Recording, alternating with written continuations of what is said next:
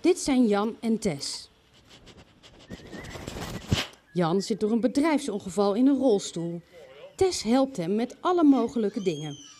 Zij doet heel veel, de wasmachine leeghalen. En dan geeft ze het aan, dan doe ik het weer in de droger. Als ik eh, met eh, een hypo dreig te krijgen, dan ruikt ze dat een half uur van tevoren. Ze helpt me ook met uitkleden. Ik kan naar bed gaan wanneer ik wil.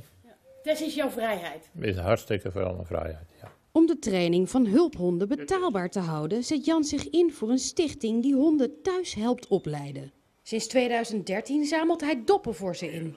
Wat ooit thuis begon, is inmiddels flink gegroeid. Op een gegeven moment was mijn keu- keuken vol, mijn eh, kamer vol, mijn slaapkamer vol. SDG Rijgersdal, die hebben het toen overgenomen.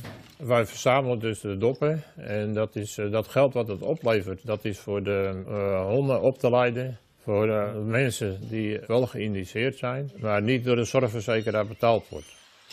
Allemaal geld.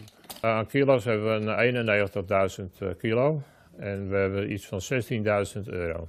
Bijna een hond. Ja, bijna een hond. Ja. Ja, het gaat langzaam, maar ja, het weegt niet zoveel. Hè. De doppen en kroonkurken blijven dus nodig om meer hulphonden mogelijk te maken. Voor Jan is een leven zonder Tess inmiddels ondenkbaar. Dat Tess, eh, eh, buiten hetgeen wat ze allemaal voor me doet, en je hebt toch iets om ook voor, te leven. Stel nou dat ze er niet meer zal zijn en ik ben alleen, dan val je in een heel diep.